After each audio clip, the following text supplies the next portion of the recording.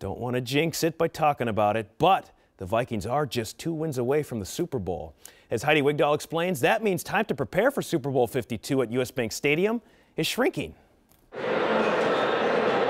Super Bowl 52 preps are picking up. The Mall of America is already showing signs of the big game. While ice will be cut later this week for the St. Paul Winter Carnival Ice Palace.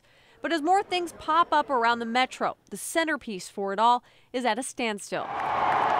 The NFL expected five weeks to prepare US Bank Stadium, but that timetable shrinks with the Vikings making the playoffs.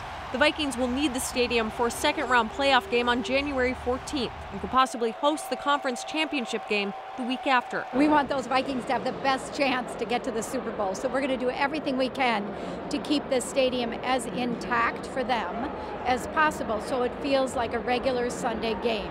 So that's our goal. It shrinks the timetable of what we have to do in this stadium. Maureen Bausch, Minnesota Super Bowl Host Committee CEO, says that means more staff and more overtime.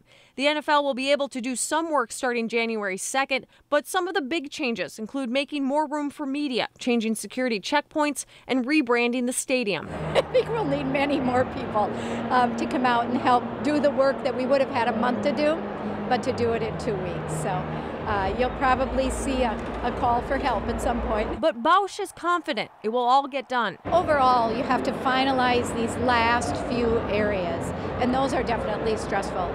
But the excitement of potentially having our home team in the game outweighs that. In Minneapolis, Heidi Wigdahl, KARE 11 News.